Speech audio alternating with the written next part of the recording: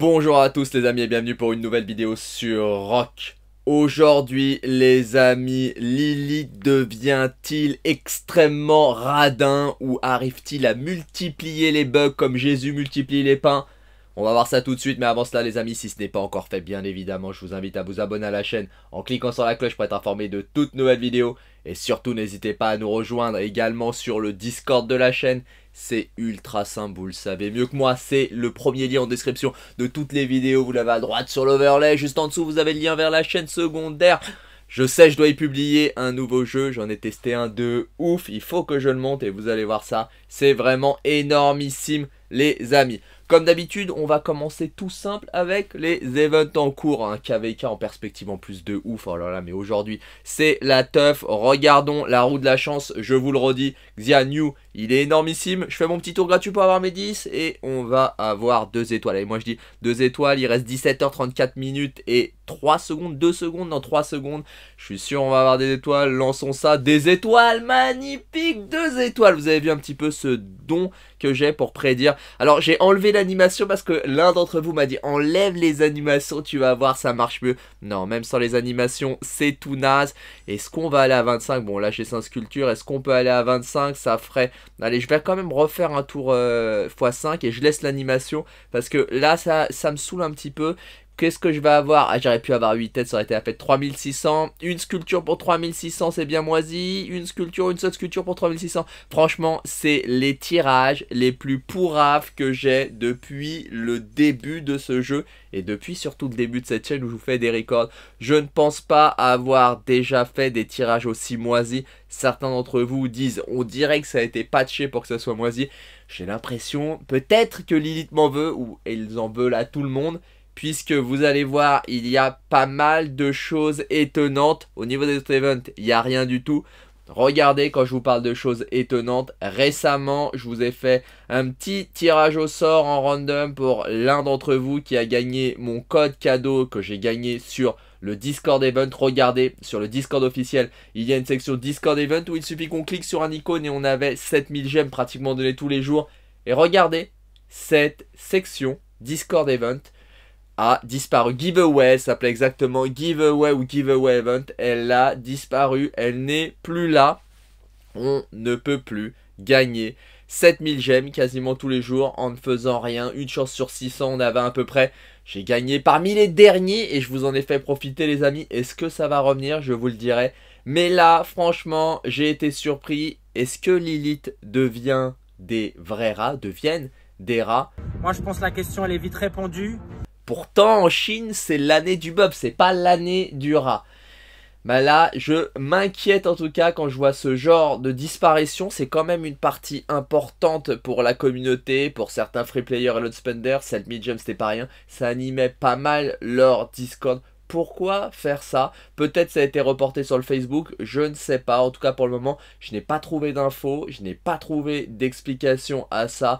Ou tout, à part tout simplement le fait de vouloir diminuer les cadeaux gratuits, 7000 gemmes, c'était vraiment énorme. C'était plus que, sur le Discord, c'était plus que tous les events faits par Lilith, hein, tous les events officiels où on gagne entre 1000 et 3000 gemmes. Là, 7000 gemmes, c'était vraiment énorme. Et pour le coup, c'était des tonnes de gemmes. Là, c'était pas mal du tout. Donc vraiment, ce genre de choses m'inquiète et j'espère que ça va être corrigé, que c'est juste un bug.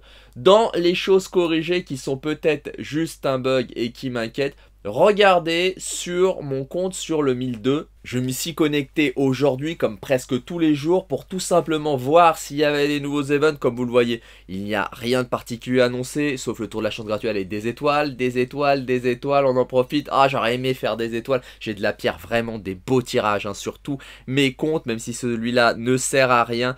Eh bien, au niveau des events, il n'y a rien. Mais regardez, j'ai été voir le timer de l'anniversaire qui devait se finir et plus d'icônes d'anniversaire. Vous savez, cette couronne un petit peu dégueulasse en PVC ou on ne sait quoi, avec des ballons tout aussi moches, eh bien, il n'y a plus cette icône, il n'y a plus les events anniversaires, ils ont tout simplement disparu. Alors, est-ce que Lilith s'est auto-leak? Est-ce qu'ils ont fait une auto-fuite eux-mêmes en mettant un event trop tôt sur le 1002 Le timer du premier event, hein, les voleurs, la course contre les voleurs où il faut les tabasser, que je vous ai montré, eh bien, il n'est plus là cet event, il aurait dû se finir aujourd'hui, c'est pour ça aussi que je me suis connecté pour vous montrer le prochain event qui devait pop donc aujourd'hui, eh bien il n'y a rien, il n'y a pas d'annonce, pas d'information, que dalle par rapport à ça.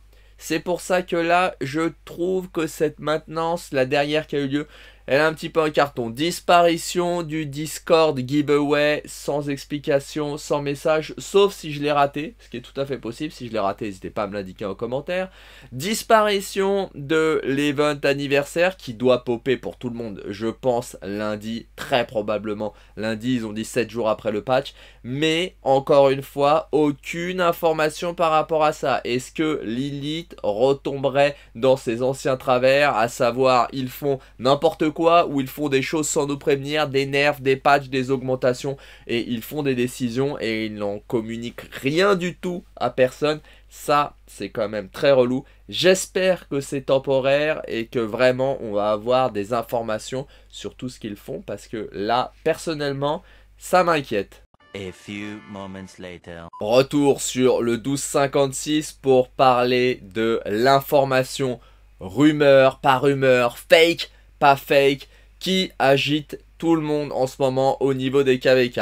Vous le savez, la plupart des gros royaumes, hein, quand je dis les gros royaumes, c'est le top 30 Imperium à skipper, à passer plusieurs KVK. Je vous le rappelle, on peut passer jusqu'à 3 fois le KVK, le quatrième, on est automatiquement enregistré. Certains royaumes le font pour tomber les uns contre les autres. Et regardez donc cette méga info. Il y a eu cette information qui disait que le 1254, hein, le royaume de Bunny et d'Esquad, allait affronter le serveur 1556 de Godfather. Goodfather, eh bien cette information a été démentie sur le screen que je vous montre là. Hein. Euh, le leader du 1256, du 1256, non, personne, pas le leader du 1256, le leader du 1556 a démenti un faux, a démenti sur le fait que c'était pas vrai, c'était qu'une rumeur, mais c'était il y a trois jours et finalement des nouvelles informations sont venues et apparemment ce n'est plus du fake. Le premier screen était un fake, hein, mais les suivants n'en sont pas. Regardez, ça a été d'abord confirmé par Bunny qui au passage, hein, Bunny on le connaît, Bunny est très drôle, n'hésite pas à mettre une petite pointe de provocation euh, dans son message hein, où il indique justement que eux sont prêts à affronter le serveur 1556, hein, il dit hein, c'est officiel, ils vont se battre contre le 1556. Hein. et euh, Faux a répondu à ce message, c'était sur Discord, a répondu que pour eux aussi c'était officiel et qu'il l'avait annoncé à leurs joueurs. Il y a eu un deuxième screen qui a confirmé ça bien évidemment, un autre screen que je vous montre là tout de suite qui dit également donc que le 1556, vous voyez, ils disent bonjour les guerriers, ils montrent le message en question. Hein. C'est officiel, ils vont combattre le 1254. Ça va être un choc de ouf. C'est probablement, même c'est parmi les 5 plus gros royaumes actuels, le 1556 et le 1254. Il faut savoir que beaucoup de très gros impériums critiquent le 1556 sur leur dernier KVK plus ou moins facile. Le 1254, lui, c'est bien renforcé. Le 1556 aussi. Ça va être un KVK énorme. Probablement le plus gros, ça va dépendre. Hein. Ça va être un lutte des 8 normalement. Ça sera un lutte des 8 ça va être un KVK vraiment colossal et donc probablement le plus gros des KVK qu'on a eu à ce jour va se jouer sur ce lutte des 8. Alors est-ce que le 1256, mon royaume justement, va être sur ce même KVK. Écoutez, je n'en sais rien. Je dirais probablement non, mais sachez qu'on peut tout de même se retrouver avec un KVK énorme en plus du 1254 et le 1556.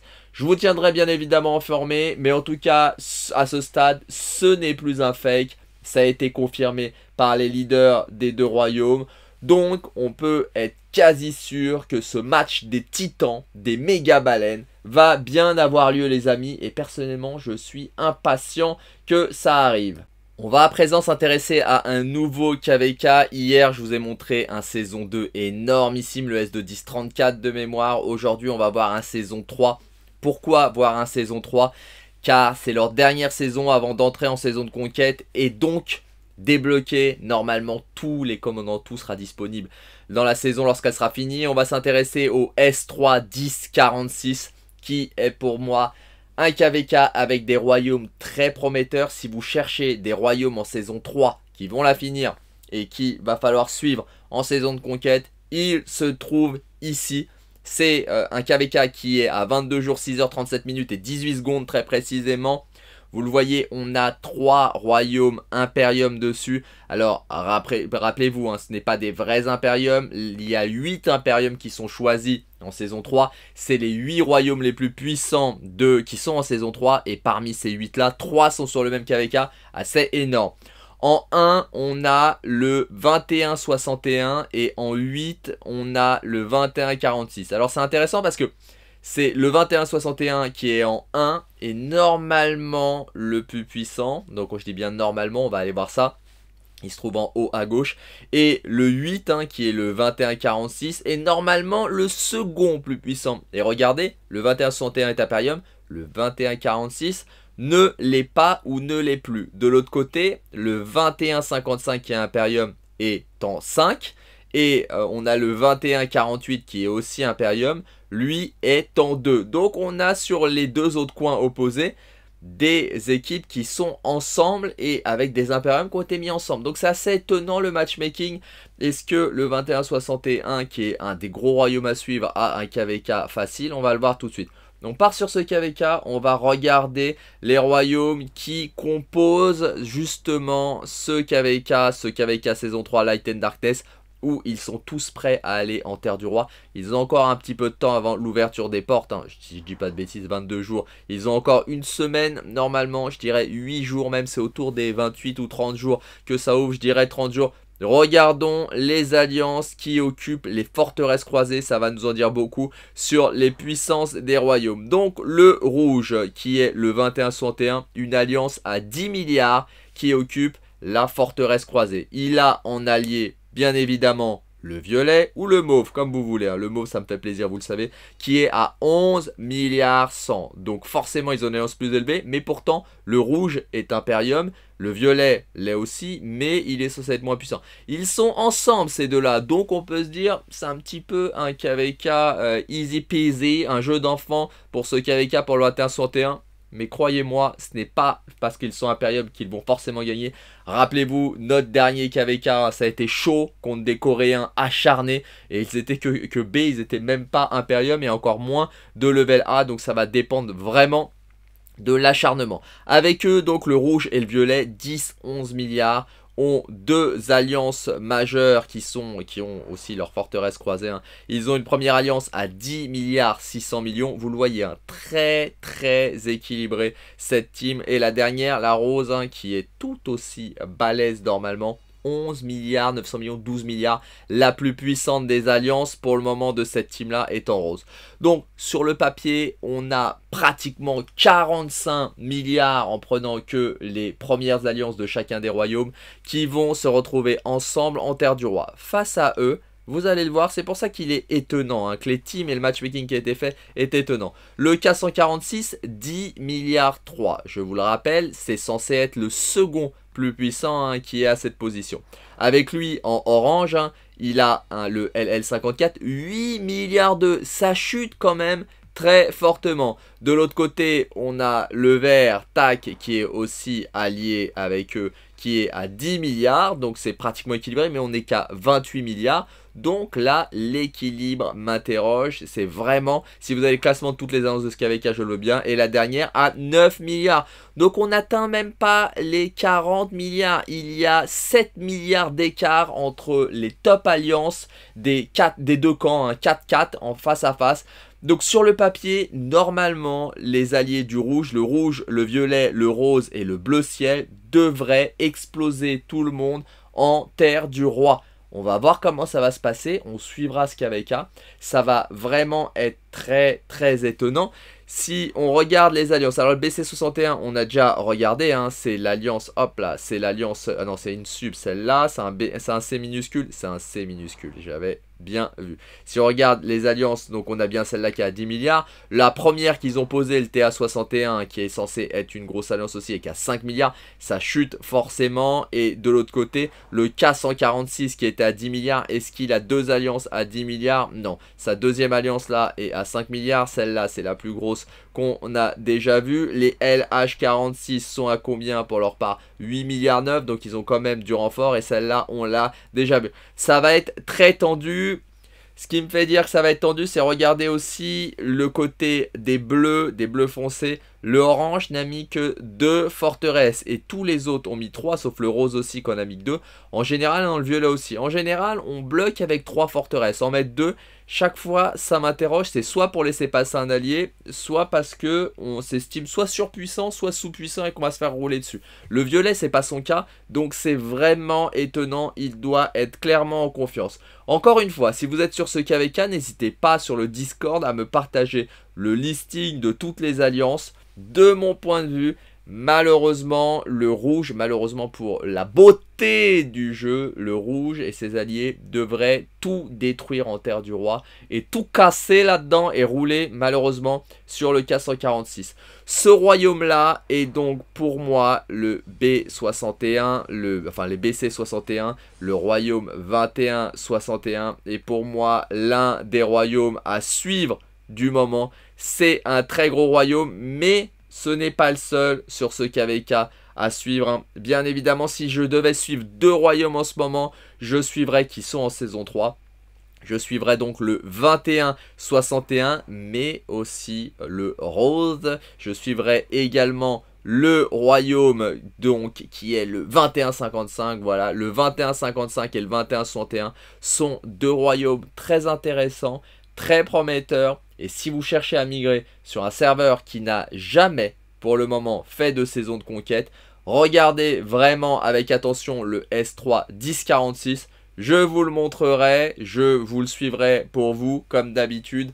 Et je vous dirai ce qu'il en est, s'il faut y aller ou pas. Hier encore, on m'interrogeait sur le Discord sur les royaumes à suivre. Ces deux-là en sont. On va finir avec notre fil rouge de la semaine, notre fil rouge préféré, le 1307 qui malheureusement pourra pas être avec les très gros royaumes. Le 1307 qui reste Imperium. Il va falloir qu'il sorte du statut Imperium pour recruter. Hein. Donc il va avoir du suicide en masse. Si vous voulez rentrer sur un royaume énormissime, dans les jours qui viennent, d'ici deux semaines, donc quand le KVK va être fini, suivez le 1307, ils vont sortir forcément du statut Imperium pour le recrutement, donc vous pourrez migrer dessus, c'est un conseil que je donnais à l'un d'entre vous hier d'ailleurs in-game, hein. si vous cherchez un gros Imperium qui va sortir, sachant que le 1254, le 1856, le 1556, tous ces royaumes-là ont fini leur campagne de recrutement, il faut donc se tourner vers le dernier gros royaume encore à KVK et qui va sortir forcément de l'Imperium pour recruter, le 1307.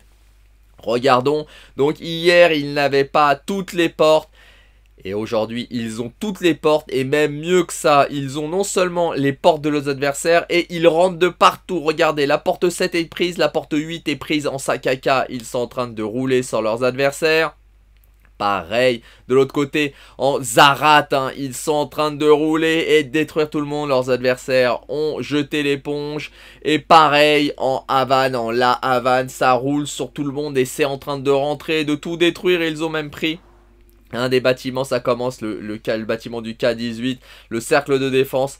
Bref, le KVK est fini. Le 1307 a gagné son pari. Ils ont pris toutes les portes. Ils auront la grande ziggurat. C'est vraiment un challenge énorme qu'ils se sont fixés et ils l'ont réussi avec beaucoup de difficultés. Mais contre toute attente en terre du roi, ils ont gagné et ils ont pris l'avantage à 3 contre 1. Bravo aux 13-07, mais aussi bravo à leurs adversaires parce qu'ils nous ont fait du beau combat. Voilà écoutez les amis c'est tout pour cette vidéo, j'espère qu'elle vous aura plu, si c'est le cas les amis comme d'habitude n'hésitez pas à lâcher un colossal pouce bleu, vous le savez les amis ça aide énormément le développement de la chaîne et surtout ça me fait vraiment très plaisir les amis, si ce n'est pas encore fait qu'attendez-vous, qu'attendez-vous pour vous abonner à la chaîne en cliquant sur la cloche pour être informé de toutes nouvelles vidéos, je vous souhaite un bon jeu à tous, prenez soin de vous, faites bien attention à vous les amis. Et je vous dis à plus sur Rock.